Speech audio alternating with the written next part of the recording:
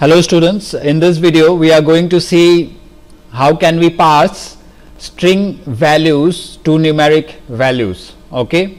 Means how we can convert a string into number, okay. The number can be of integer type, long type, float type, float type or double type, okay.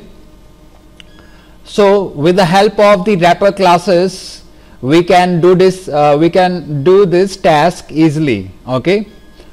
We don't have to reinvent the wheel.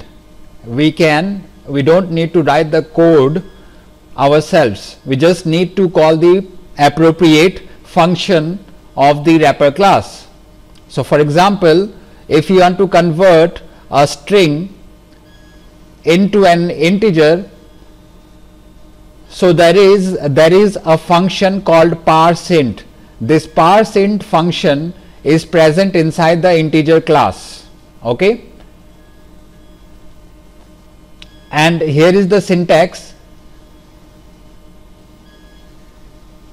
Here you can see that its return type is int. Okay? So, it returns you the primitive int and uh, it, it will take a string as parameter and it will give you an int value. So, this is the parse int function.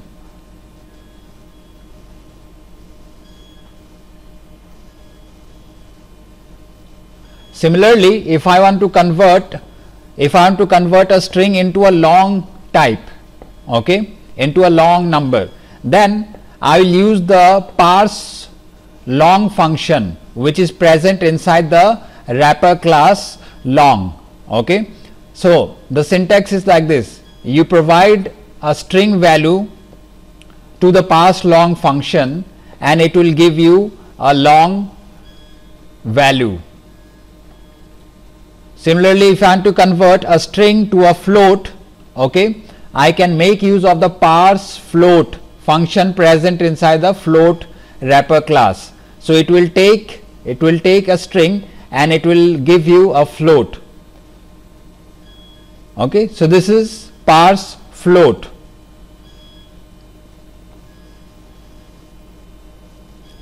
And then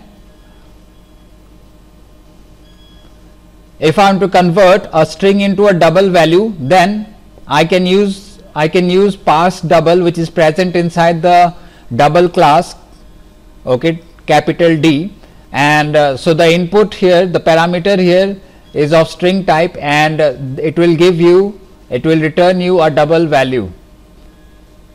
So, let us let us see a sample program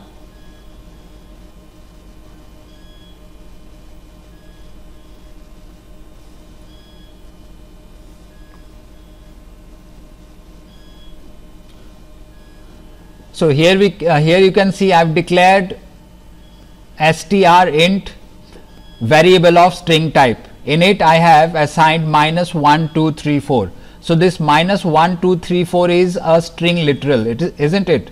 It is enclosed within double quotes that means it is a string literal. Okay. Now, to convert this string literal into an int into an int, I will simply call the parseInt function of the integer class.